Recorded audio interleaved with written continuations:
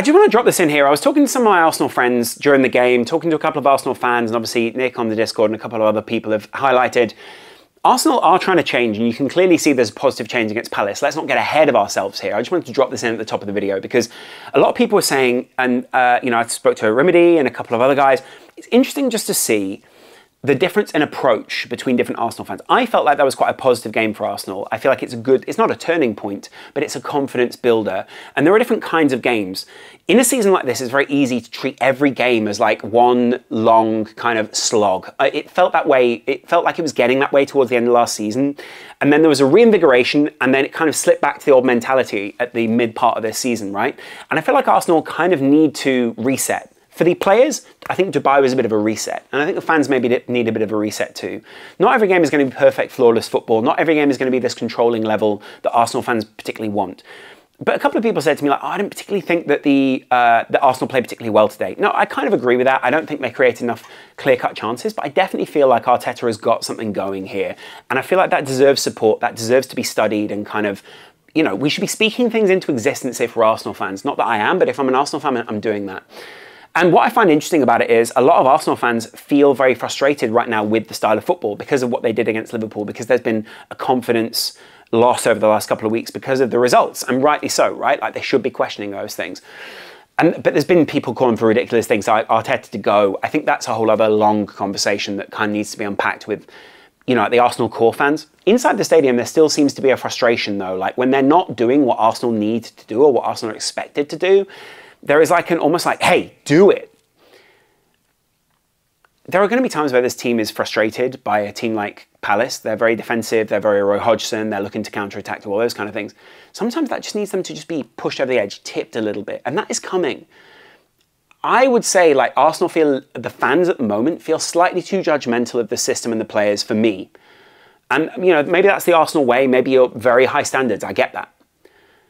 But there's a point where I feel like you kind of need to go look like we, we we're still on something here. We're still in the points race. Stay in it, and there's a chance. At the moment, it feels like there's almost it, the flick towards negativity is almost a bit too quick. And I get it. Like there's frustrating games like this where you know there are some misplaced passes. Zinchenko's a bit frustrating. The midfield order feels a bit frustrating. But then there are great moments where you're like, ah, right. That consistency comes with support and time. But you've got to have both those things, support and time. I'm saying, like, I think there's still more to come from this Arsenal team. It feels like it's not fully juiced. And that is exciting if I'm an Arsenal fan. How do you work out which part of the season you lost the title in? And obviously, can you do that midway through the season when you still feel like there is so long to go? You're very much still in the pack, and you put in some pretty easy performances against people like Crystal Palace. Welcome back to the Laurence McKenna channel. A 5 0 win for Arsenal means that Arsenal keep up with Man City and Liverpool, even if Man City and Liverpool have games in hand. This part of the season has become a little bit confusing. There is this new 10 day, 10 day thing going on. Teams get their rests. Who's making up ground on other people? Did Arsenal ever really lose ground? Yes, is the answer. But like, where do Arsenal therefore sit if they're a game ahead of everyone else and everyone else? is kind of in their own transitional phase or losing players or whatever else it is. Every team has peaks and troughs in any season. City had their peak at the end of last season. They had their trough at the beginning of last season and they still won the league. Um, not saying, therefore, that Arsenal can afford to have this trough, because actually it's very difficult sometimes to recover from these kind of things. But when you look at what Mikel Arteta was saying in his pre-match press conference, in the uh, the program for the game, and also just over the last couple of weeks, speaking about their warm weather training and all that kind of stuff, you can see what he was trying to do with the team. You can see he was trying to re-galvanize a side that had clearly lost a bit of confidence in the where they were going. And in coming back against Crystal Palace, I think they've refound some of that identity that has been so important. Let me talk about that identity entity. Last season, when Arsenal were playing their beautiful box football and so much of the system seemed to be working, people seemed a little bit behind the tactical trend. Arsenal were 10% ahead of everyone else, if not 20 or 30% at the beginning of the season. Fitness wise, they looked fantastic. Tactics wise, they looked ahead of everyone else. They were really knitting together. There was a gelling and a chemistry and a mesh that other sides just didn't seem to have, even Man City. There was a belief around that as well, something which, by the way, is still important this season. And there was belief in individual players, what they brought to the system. This season, some of that seemed a little bit out of whack, a little bit out of line. People started to question Zinchenko, wondering what, whether Saka was found out, what space Martinelli was now able to find, who was in there at the striker, and could they make that midfield work in front of a really solid back line? Arsenal were trying to answer some of the questions of the previous season that let them down, and some of the answers weren't quite coming together yet. They brought in someone like Jurrien Timber. Can't use that as an answer if they're sitting on the bench. Partey is out. Xhaka had been allowed to move on.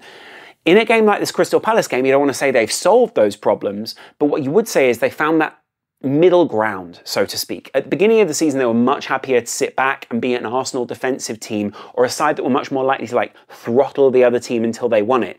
It meant that they weren't quite as attacking as the previous season, quite as enterprising in the same way, or quite as exciting as we'd expected Arsenal to be. And so that took the edge off some of the, what they were doing. But now, after you've had that little dip, after you've had this period where you go, right, we just need to win here. We just need to be title challengers. We need to be pragmatic. We need to be smart. We need to be the team that wins the title, which is the side that played the football to win it rather than, you know, stealing everyone's hearts like in the previous season. And you realize what it is that Arsenal are putting together is now the balance. The balance of that excitement of the previous season, the free, open, goal scoring side, along with some of the rotation, and this new, more pragmatic, more defensive team, a side that's much more happy to go, you know what, we're just going to kill you with. Um, basically, we're going to neutralize you rather than absolutely throttle you. And that's what they did against Palace. Now, Palace in themselves were pretty poor in this game. In fact, Palace fans at the end of the game held up a sign saying it's the end of this era, we're not happy with the ownership, we're not happy with the direction of the club, and that's fair enough. That's almost academic in terms of what Arsenal did to them, but Arsenal took them apart, right? Early on, it wasn't so much about this open, free flowing football, it was about that pressure, the constant tap, tap, tap, jabbing the opposition that Arsenal fans have become a bit more used to. They got the thrills and the uh, big moments from set pieces. Gabriel rising well above everyone else, and then, of course, the other one being an own goal from the goalkeeper. And by the time that it came to the third goal, which was a brilliant counter attacking piece of football that you'd expect to have seen from other Premier League sides, Arsenal were very much in control. It was never in question that even at 1 0 or 2 0, Arsenal were going to do something special, or at least do something that they needed to do. And here's the thing like, I get that there'll be questions over the lineup. People want to talk about this perfect 11. This, for me, is A2 or A3 under someone like Mikel Arteta. And I can tell you why, right? If you start the game with Zinchenko, Gabriel, Saliba, and Ben White at the back in front of David Raya, that is A for me, possibly apart from Zinchenko at left back. I think Arsenal were looking to move on from Zinchenko this season, not in a terrible way, but just give them a bit more variation. Maybe a Kiwior is in there. Do you get what I'm saying? The midfield, I actually think that's Arsenal's preferred midfield.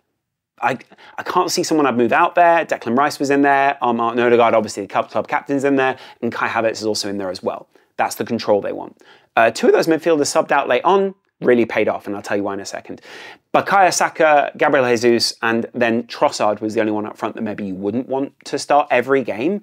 But then look at this. This is the A3, A4 team. Kiwior, Nketiah, Jorginho, Martinelli, and Emil Smith Rowe. Someone that just a couple of weeks ago people were speaking about leaving Arsenal. Apparently they went away for this warm weather training in Dubai. He came back. Even in that training, he looked good. He looked hungry. He looked like the kind of player that you want as part of a squad rotational player, if not even someone who could be pushing the first team regulars. That is good news for Arsenal. They've got these players. Jorginho coming back, fantastic. You saw that late ball what a ball, by the way, to Gabriel Martinelli to go through and just easily slot away. The goalkeeper twice, just not really even bothering to dive for the ball. Worrying for Crystal Palace, but great for Arsenal. Two amazing finishes from Martinelli. Two times where he was very assured, very calm. Exactly the kind of thing you want from a sub player who's just come on.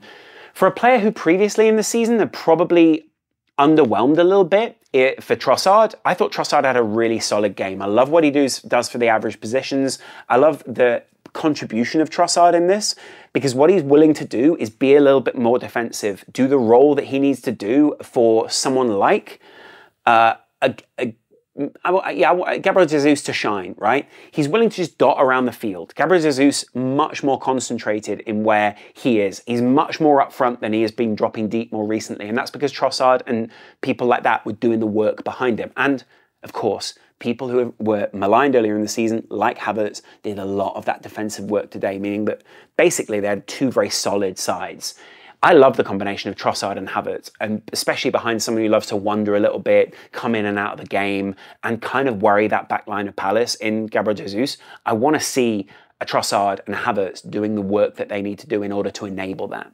That wasn't happening for quite a while for Arsenal. This team looked way more, um, I'll, I'll say like dynamic because they had the committed roles rather than what you saw against Liverpool where they were just isolating players trying to go by them wasn't really working and Liverpool were thriving off that if Arsenal do that against Palace Palace thrive today Arsenal moving the ball, they were moving it at pace against Palace. They were able to get and cut through very early on, making the most of the uh, set pieces that they obviously also did against Liverpool. But you get my point. Like they needed to do more of that against Liverpool. They needed to capitalize on where they were strong. I feel like they've gone away from one weather training, honed things a little bit, even just mindly tinkered with stuff, and we're seeing a different side. A, they look rested, they look a lot more assured on the ball, a lot more relaxed, and B, they also look like they know much more about positions. Let's talk about David Raya, by the way.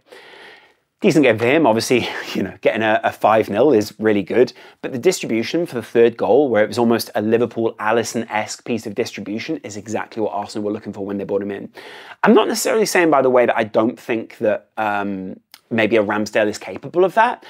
But I do think that Raya, uh, that's what they were looking for from him. Get them on the front foot, get them counter-attacking, get them in a position where it's like, right, that's why we brought him into the team, that's why we want him. And you could see players really streaming down the field. Trossard on the other side, really beautiful finish as well for him, by the way, and just a really lovely assist from the right-hand side. Great ball through, easy, nowhere near offside. I don't even know why they checked it for offside. You could see it with their with the naked eye. Really easy ball for him. Arsenal control that midfield as well. Chris Richards, obviously a defender transitioning into that area, so it makes it a lot easier for them to control that. And then if you look at the rest of the team, like I don't really feel like they Will Hughes ever really got a grip on the game. Way less touches. Chris Richards was basically part of the back of the back four, and Jefferson Lerma, as much as he had touches all over the field, not really ever ever sure that he got into the game in the way that he needed to. Arsenal walked all over Palace today, but this isn't the game that Arsenal need to worry about. If I look at Arsenal's coming up games and I look at the matches that they've still got, next couple of weeks, Palace, great game for them to go away to. They've got Liverpool at home then. If they win in that game, that changes their season. Then if you go to West Ham, Burnley, Porto, then this is a really key run of games. Then Newcastle, that key run there after the Nottingham Forest game is where Arsenal's season is made or lost for me. Like, I get it you know, people are saying, you know, you've got the run in now to the end of the season. Those games will be confidence building, they will be system building, and they will either uh, nullify whatever confidence Arsenal have right now or invigorate this Arsenal team and push them onto the next level. I really enjoyed uh, what was done and said today. Uh, I, I, think Arteta has come back not punchy, but with just the right level of confidence, just the right level of hey, like we've got something we need to achieve here, and we we were in danger of falling away from that. It's still very much in touch.